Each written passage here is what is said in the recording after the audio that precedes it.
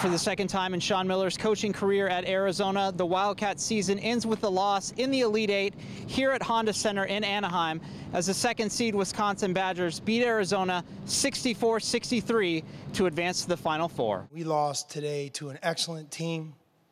It wasn't as if we didn't get the job done or we played bad. That was an incredible game. We leave here with our head held very, very high. I told our team after the game, when I think of a team, I think of this team. This is the best team I've ever been around. This is like nothing else I've ever felt before. You know, we've all played basketball our whole lives. and We've all dreamed to be going to the Final Four.